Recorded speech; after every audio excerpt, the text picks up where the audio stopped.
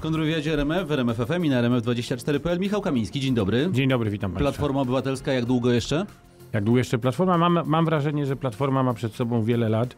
A Michał e... Kamiński w Platformie? No, je, że tak powiem, w tym największy jest ambaraz, żeby dwoje chciało na raz, ale skoro jestem posłem Platforma Platformy, jeszcze chce? O dziwo, no, tak? Myślę, że tak. A Michał Kamiński jeszcze chce? Dlaczego o dziwo? Nie tylko chce być, ale wierzę w to, że, że warto budować partię, która także strukturalnie różni się od Prawa i Sprawiedliwości, nie tylko programowo. Nie ma pan jeszcze dosyć twardej ręki i twardych rządów partyjnych Grzegorza Schetyny? Nie, wie pan co, no, lider musi być silny w każdej partii i, i, dobrze, że tak jest i w najbardziej demokratycznej partii. Natomiast najważniejsze jest to, że, że partia jest wewnątrz demokratyczna, że zdarzają się konflikty i one są oczywiście problemem, ale że... Pan mówi demokratyczna, ja słyszę autorytarna. Pan mówi y, y, silny lider, a ja, a ja słyszę, zależy... że robi czystki, mści się na dawnych partyjnych oponentach, traktuje brutalnie ja, ludzi ja ze zrozumiałych powodów nie chcę się w, w, włączać w wewnętrzne sprawy y, partii, w której jestem no, w sumie jednak od niedawna.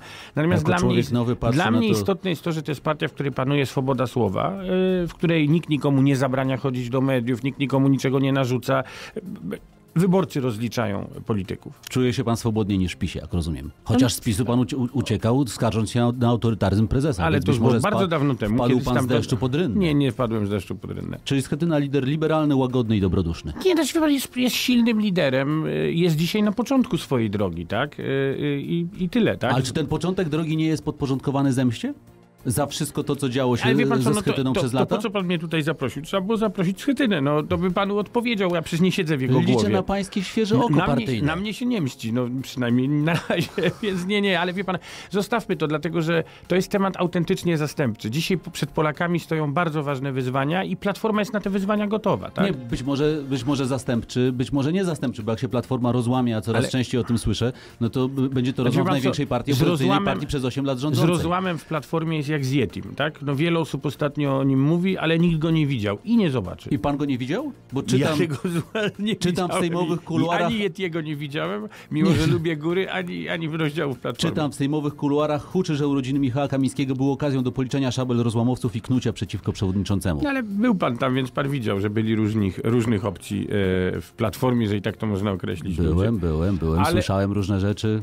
Ale, ale, no jak to na imprezie. że coś tej, coś w tym opisie jest jednak. Nie, no panie redaktorze, ja powiem naprawdę, myślę, że najważniejsze jest dzisiaj, żebyśmy wobec tych wyzwań, które są przed Platformą, stanęli razem.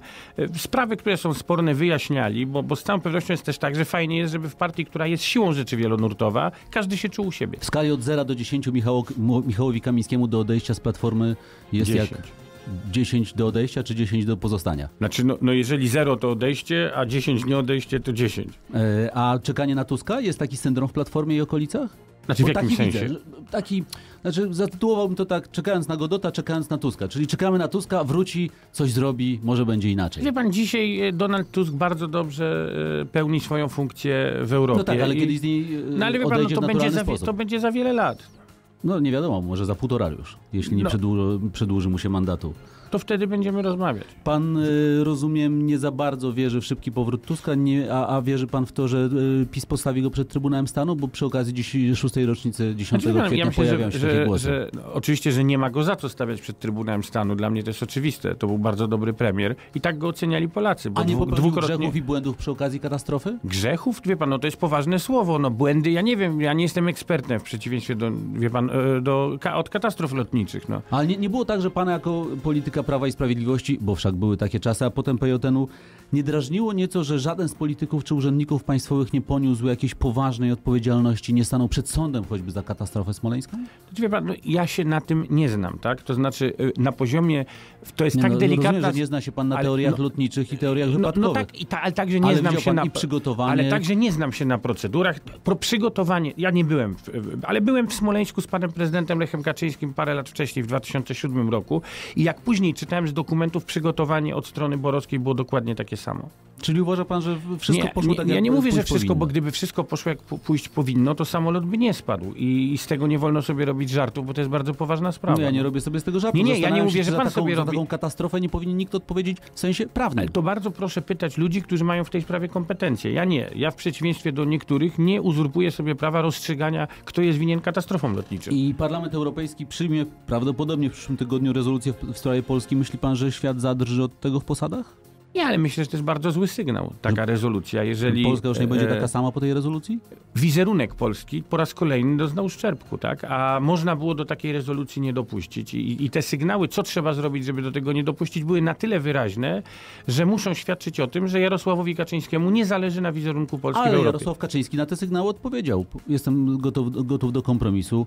Zwołał No, spotkanie liderów parlamentarnych. minister- Światełko w tunelu minister- niektórzy no, no, wie pan, ja nie widziałem światełka w tunelu, raczej być może bym powiedział świecidełka dla tubylców, tak? Tylko, że to się dla tubylców źle kończyło, jak wierzyli w te świecidełka, więc na, na miejscu jednego z liderów partyjnych też bym w świecidełka nie wierzył.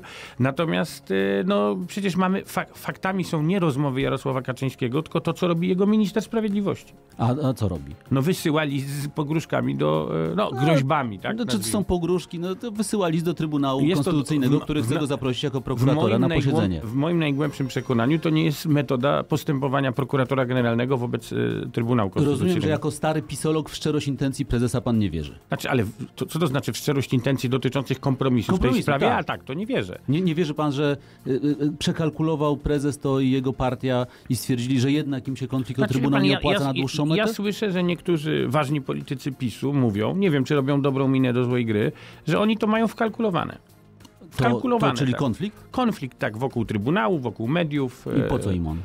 No, po to, że oni chcą, e, że tak powiem, realnie zmienić Polskę. No ale wie pan, ale oni już ją zmienili, ponieważ ja twierdzę, że w Polsce zmienił się ustrój. E, I to teraz e, bez żartów o tym mówię. My mamy dzisiaj inny ustrój, bo, bo jakby pan dzisiaj zapytał, zarówno przeciwnika PiSu, jak i zwolennika PiSu. Kto w Polsce rządzi? Takie szybkie pytanie do naszych słuchaczy. Każdy by odpowiedział Jarosław Kaczyński. I każdy by I zajrzał... sympatycy, i, i- przeciwnicy PiSu pewnie tak tak. Jedni z dumą, jedni I- ze i- wstydem. Ze wstydem.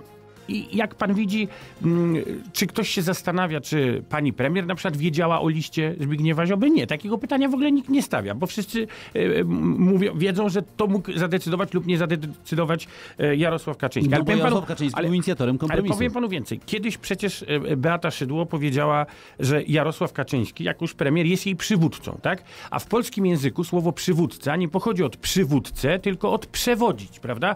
Czyli to oznacza, jeżeli Beata Szydło mówi, Jarosław Kaczyński jest moim przywódcą, to nie oznacza, że on jest jej trenerem jogi, tylko to oznacza, że jest jej szefem politycznym. Czyli, że ona przyjmuje polecenia polityczne od kogoś, kto jest de facto organem ko- niekonstytucyjnym, ponieważ Jarosław Kaczyński, podkreślam, nie jest zapisany w Konstytucji. No Są strony- osoby zapisywane w konstytucjach, na przykład Kim Il-sen był zapisany w konstytucji jako nawet nie dożywotnie, a po wieczne czasy. Ale to, że prezydent. lider polityczny czy lider partyjny jest e, de facto e, wyrazicielem woli większości parlamentarnej, a, za, a zatem sprawcą czy spiritus mówiąc obozu rządzącego, no to nie ma w tym niczego Nie, oczywiście, że jest partia rządząca. To prawda, chociaż w, w przeważającej większości przypadków lider partii rządzącej, jeżeli ona wygrywa, zostaje premierem i ponosi konstytucyjną odpowiedzialność, bo także to o to chodzi.